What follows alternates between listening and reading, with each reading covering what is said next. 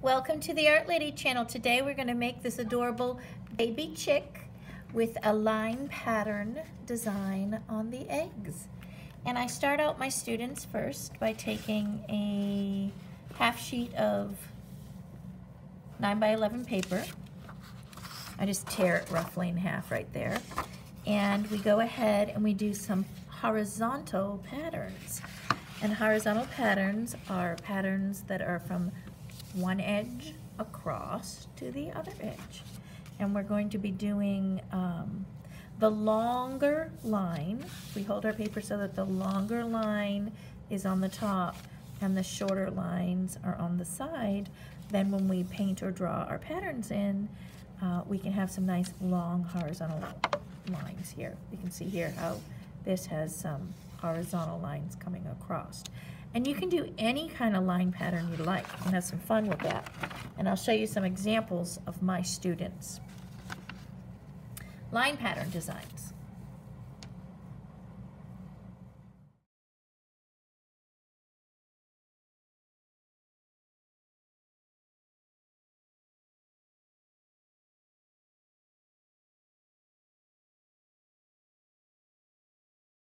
To make the line pattern designs, what my students did was they started with some Payons, or you could use water-soluble chalk, you can use crayons, you can use paint. I give them a choice of what they want to use. Uh, but here's some designs here. These are wavy lines, straight lines. You can do a combination of both. I'm going to go ahead and just demonstrate quickly with some paint.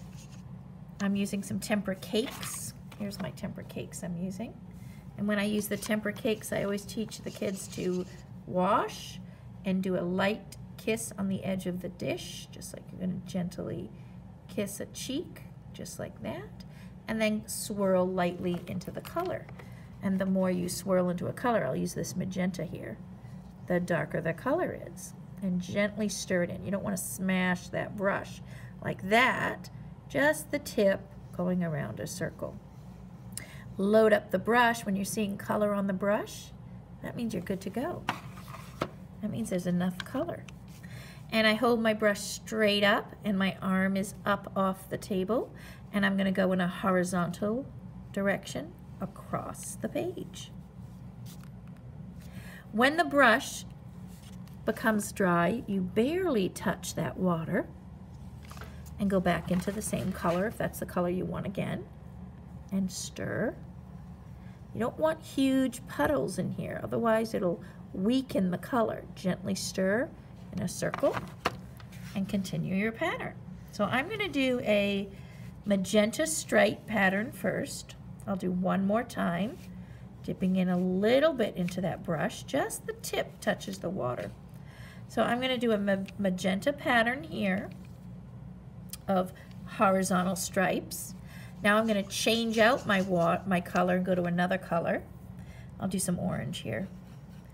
And I'm going to do another pattern next to the magenta stripes. I'm going to do a waving line pattern. Now, a pattern is shapes that repeat, so I'm going to repeat that, or lines that repeat, rather.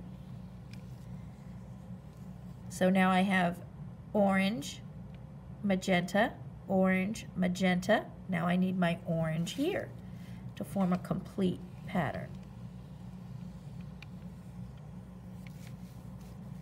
Now I'm going to wash my brush again. And I'm going to go into maybe a blue. Gently stir in the blue. And I'm going to do a broken line pattern or a dotted line. This is a line that's broken. And that's next to the magenta. So then I have to go next to the magenta and do a broken line pattern.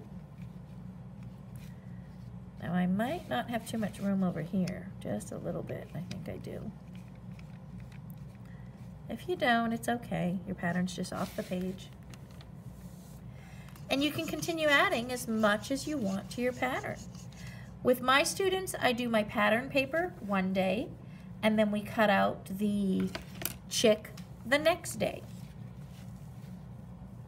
I'm going to show you some examples of my students' work. And now I'm going to show you how we cut out our chick. What I do is I use a quarter sheet of paper. I take a 9 by 11 sheet of paper and I cut it in half and then I cut it in half again. And we have a quarter sheet of paper here. So the egg is made with a half sheet of paper and this chick is one quarter sheet of paper and I go ahead and we cut out a circle. You can draw your circle first if you'd like, if that's helpful, or you can just freehand cut it out if you'd like, or if that's easier for you.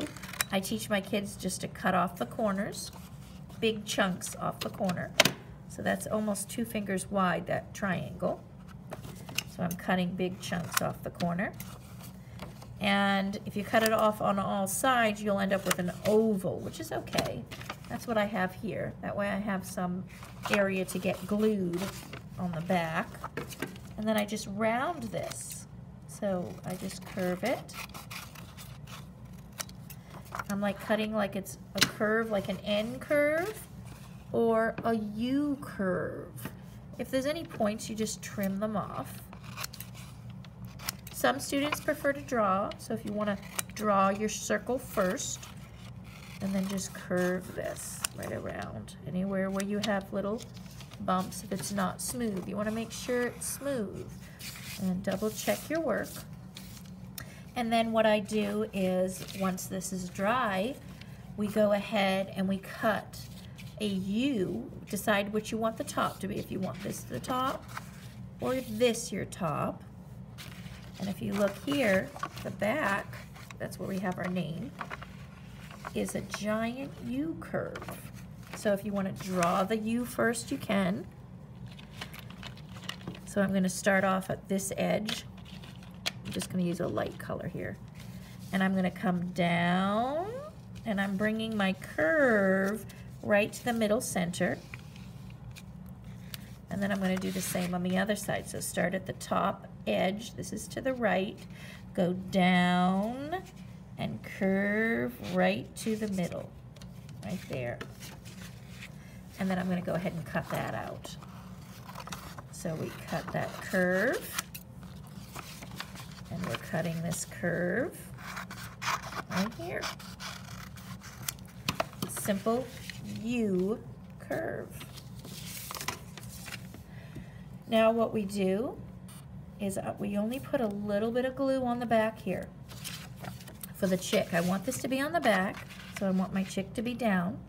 So he's in the egg. Some of my kids made two circles out of this and made two babies. So I'm going to put a small dot of glue. Look at that. If you compare it to a pinky fingernail, it's really small. Let's compare it to the bottom of the back of a pencil it's smaller than the back of a pencil. And I'm going to rub that in. That's real important, just on the edge of this oval or circle for your chick. Rub it in. See, it's tacky. You want it to be tacky. Otherwise, it'll stick. I'm going to stick it just like that. And you can put it anywhere you want here. I'm going to tip it a little bit this way. So this is now my, clear my desk here. There's my baby chick. And now the fun part, we can decorate this. So you can cut out little circles right here for the eyes. We use just eyeball stickers, which I absolutely love. I get those from uh, art supply catalogs like NASCO, I think that's the name of it. Dick Blick has a catalog, has a, I think they have these eyeball stickers. They come in rolls, uh, rolls of these stickers. So you can either cut the, these out of white paper, you can draw your own circles and eyeballs in here with the markers or Sharpies. Um, I'm just going to go ahead and do this so you don't to sit there and watch me make it. I'm going to stick my eyeballs in. Of course, you can put them any way you want. They can be close together, uh, looking up and down. And now with a piece of scrap paper, I'm going to cut out a beak. I'm going to do a big triangle. So I'm going to look at the edge here and I'm going to find make that a little bit straighter here. I'm going to find the corner of the piece of paper. And this is one way to make a beak. And I'm just going to bring my scissors so that it looks like a triangle. Can you see the triangle there? I'm angling my scissors so that it forms three sides. Here's one side, two sides, three sides of the triangle. So I'm just going to slice right down there. So that's one way of making a beak. I can glue that on. This beak, look at this. I folded it in half so it kind of pops up, which is a cute way. Let me show you on the side, which is a real cute way to do that. To make one that pops up, if you cut a square or rectangle, basically a square is better. Try and do as close as you can to a square. There you go. If you cut a square out, and then if I fold my square, look at that, see that? And I'm going to take the top, see the point is at the top, and I'm going to take the point from the top and fold it down. bring it up closer so you can see. That way my mouth can open up.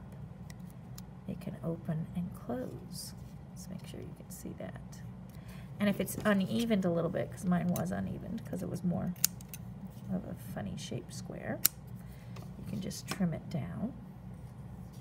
And this needs, because this is so small, a really small dot of glue, just like that.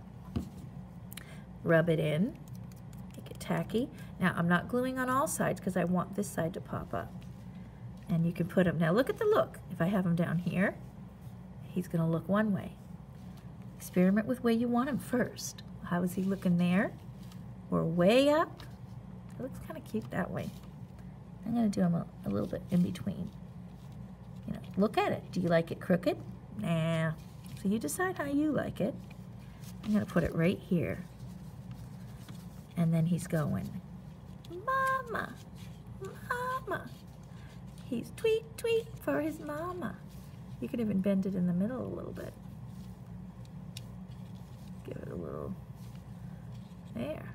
Mama, tweet, tweet, tweet.